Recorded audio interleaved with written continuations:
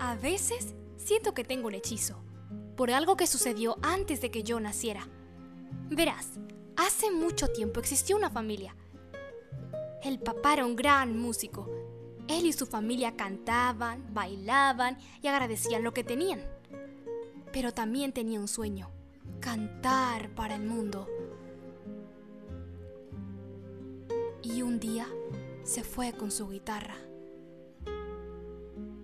y nunca volvió.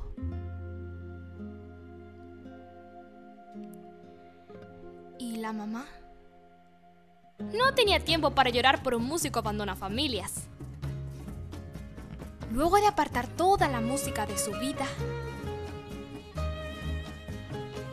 encontró el modo de mantener a su hija. Puso manos a la obra y aprendió a hacer zapatos.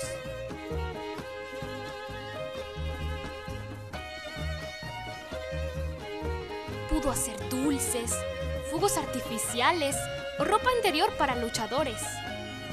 Pero no, escogió zapatos.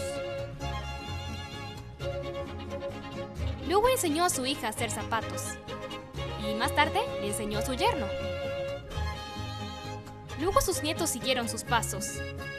Y la familia creció igual que el negocio.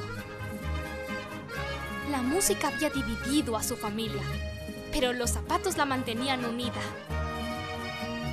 Y esa mujer era mi tatarabuela, mamá Imelda.